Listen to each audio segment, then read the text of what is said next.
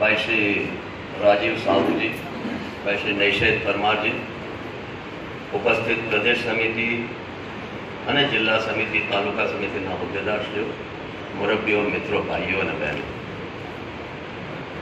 સૌપ્રથમ તો પ્રદેશ કોંગ્રેસ સમિતિ અને જિલ્લા કોંગ્રેસ સમિતિને અભિનંદન આપવા માંગુ છું કે આજની આ તાલીમ શિબિરનું એમણે આયોજન કર્યું છે.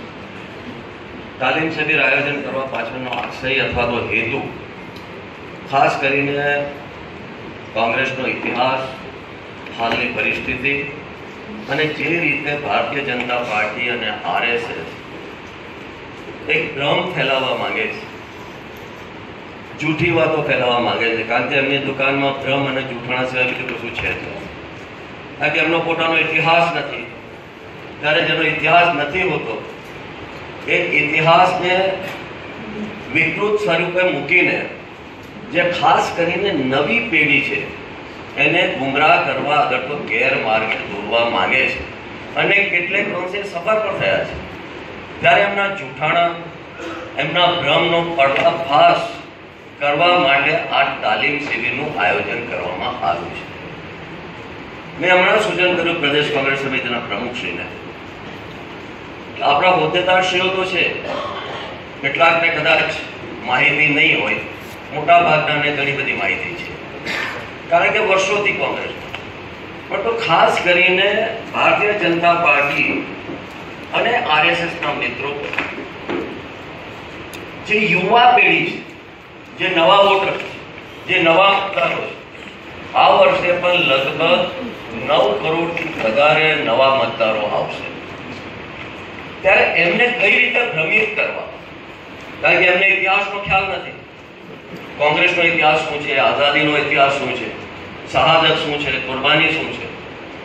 ત્યારે એવા લોકોને કઈ રીતે ભ્રમિત કરીને, ગેરમાર્ગે દોરીને કે જે સારી સંખ્યામાં વોટર્સ છે? અને તમે જોયું હશે કે બે હજાર ચૌદનું જે કંઈક ઇલેક્શન હતું, એમાં પણ જે નવા વોટર્સ હતા, એમાંના મોટા ભાગના મત ભારતીય જનતા પાર્ટી. અને અત્યારે જેમ જેમ દર ઇલેક્શન આવે છે, ત્યારે જે નવા વોટર્સ છે એમનું લક્ષ્ય એમનું ટાર્ગેટ નવા વોટર્સ તરફ છે. ત્યારે જે નવા વોટર્સ છે, આપણે જે હમણાં કાર્યક્રમ આપ્યો છે પ્રદેશ સમિતિએ કે કોંગ્રેસ આપને દ્વાર. ડોર ટુ ડોર કેમ્પેન એની પાછળનો જે કંઈક આશય છે, એમાંનો એક મુદ્દો છે કે નવા વોટર્સ જે કંઈક છે, એમને ટાર્ગેટ કરવા. એમના ઘરે જવું. આ ઘરમાં કેટલા નવા વોટર્સ છે, કેટલા મતદારો છે એમ કોંગ્રેસના સભ્ય બનાવી અને એમને ટ્રેનિંગ આપવી એ ખૂબ જ જરૂરી છે. ત્યારે આવો પણ એક કાર્ય નવા વોટર્સ માટે થાય એ ખૂબ જ જરૂરી છે. કારણ કે ધીરે ધીરે ભારતીય જનતા પાર્ટી, કારણ કે અત્યારે તો સરકાર પણ છે એમની પાસે, કેન્દ્ર સરકાર છે, રાજ્ય સરકાર છે લગલુક પૈસા છે. ત્યારે સરકારી પૈસાનો ઉપયોગ કરીને એડવર્ટાઇઝમેન્ટ મારફતે પબ્લિસિટી મારફતે આવા મોટા કાર્યક્રમો કરીને લોકોને અને ખાસ કરીને નવી પેઢીને ભ્રમિત કરવા માટેનો જે કંઈક પ્રયત્ન કરે છે. એમને ગેરમાર્ગે દોરવાનો પ્રયત્ન કરે છે. અથવા તો લોકોમાં એક ધાર્મિક એમની જે કંઈક ભાવના છે, એનું શોષણ કરીને કઈ રીતે મત પડાવી લેવા, એ માટેના પ્રયત્નમાં લાગ્યા છે. ત્યારે સૌથી વિશેષ જવાબદારી કોંગ્રેસ સમિતિઓની છે કે એમનો ભ્રમ એમના જૂઠાણાનો પર્દાફાશ કરે, એની સાથે સાથે કોંગ્રેસનો જે કંઈક આઝાદીનો ઇતિહાસ છે, અને આઝાદી પછી આર્થિક આઝાદીનો જે કંઈક ઇતિહાસ એ લોકો સમક્ષ મૂકવાની જરૂરિયાત છે.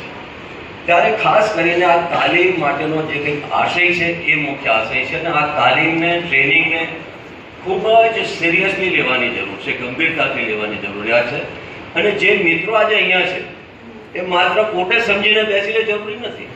પરંતુ તાલુકામાં પણ આવા કાર્યક્રમો યોજાય તાલીમ શિબિરના એ ખૂબ જ જરૂરી છે, તો જ આપણે સાચી વાતો લોકો સુધી પહોંચાડી શકીએ. ખાસ કરીને ભાઈ શ્રી રાજીવ સાહુજીએ જે તમારી સમક્ષ વાતો મૂકી છે કે કઈ રીતે કોંગ્રેસના નેતાઓ છે, એમને દત્તક લઈ લેવા અને સિલેક્ટિવ થોડા વખત પહેલા જ્યારે સત્તામાં નહોતા ત્યારે રાષ્ટ્રપિતા મહાત્મા ગાંધીજી અને આંબેડકરજી, ડોક્ટર બાબા સાહેબ ભીમરાવ આંબેડકર. એ બેની વચ્ચે મતભેદો હતા. પહેલો એ જાતનો એમણે પ્રયત્ન અને જ્યારે એમને એમ લાગ્યું, આઝાદી પહેલા કે આઝાદી પછી પણ ક્યારે ગાંધીજી કે આંબેડકરજીનું નામ નહોતા લેતા, વર્ષો સુધી. એટલે સુધી કે એમની સમાધિ ઉપર પણ નહોતા જતા, રાષ્ટ્રપિતા મહાત્મા ગાંધીજી. અને જે સરદાર વલ્લભભાઈ પટેલની મૂર્તિ આજે ત્રણ હજારના ખર્ચે એ લોકો તૈયાર કરી રહ્યા છે. મને યાદ નથી કે ભાઈ શ્રી નરેન્દ્રભાઈ કે ભાજપના બીજા નેતાનો કરમસદ કે ભાગ ક્યારે ગયા હોય. કોંગ્રેસે તો હંમેશા કાર્યક્રમો કર્યા છે. મને યાદ છે હું પ્રદેશ સમિતિનો પ્રમુખ હતો ત્યારે. અમદાવાદથી લઈને બારડોલી સુધી આપણે ચાલીને ગયા હતા. કરમસદ સુધી ચાલીને ગયા હતા. એમાં દત્ત પણ એમાં હતા. અને એક નહીં ઘણી પદયાત્રાઓ આપણે કરી. ત્યારે એ લોકો ક્યારે ન તો સરદાર પટેલનું નામ લેતા હતા, ન તો ગાંધીજીનું નામ લેતા હતા, ન તો આંબેડકરજીનું નામ લેતા પણ જ્યારે એમને એમ લાગ્યું કે મુશ્કેલ છે જીતવાનું કારણ કે એમની પાસે તો ખૂબ જ ઓછા મત હતા. એમને એવું કે જ્યાં સુધી ત્રીસ ટકાથી વધારે મત આપણે નહીં મેળવીશું, ત્યાં સુધી સત્તામાં ક્યારેય નહીં આવી શકે ગુજરાતનું જ ઉદાહરણ લઈએ. અમદાવાદથી શરૂઆત કરી તોફાનોની, આખા ગુજરાતમાં ફેલાવી. ધાર્મિક ભાવનાઓને ઉશ્કેરી, સત્તા ઉપર. અને એકવાર સત્તામાં આવ્યા પછી સત્તા ઉપર કઈ રીતે